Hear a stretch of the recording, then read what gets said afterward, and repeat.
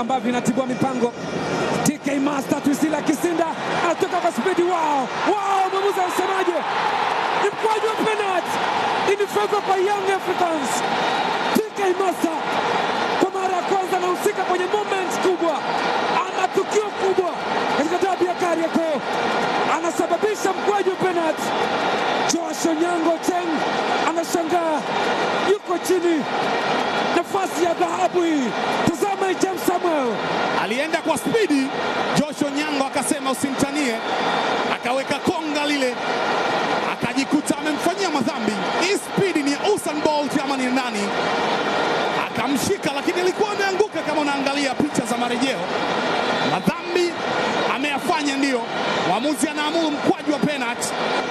kiasi yuko pale Michael Sapong. Wako na vibe kubwa, wakati Steven Babrok akiwa ametoa macho tuamini kinachotokea. Aishi Manula mara kadhaa ameonyesha hodari sana, umaridadi wa kucheza mkwaju wa penalty. Di, acha tuone hili on space, Michael Sapong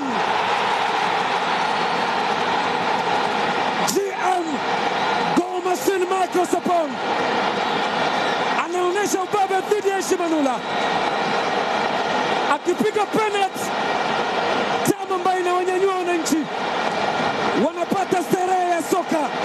Katika sikukuu ya wapenzi wa soka. Josh Onyango, zile ndevu zile za fadha zinapepea kwa huzuni tu, jasho linamtoka, wananchi wanapata raha burudani. Ya VPN, kasi ya VPN. Kama ulidhani atafunga ataona wachache,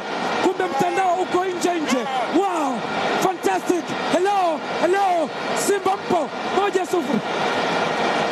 Ametulia, ametazama wapi pa kupeleka, anafunga bao lake la tatu kwa mkwaju wa penalty.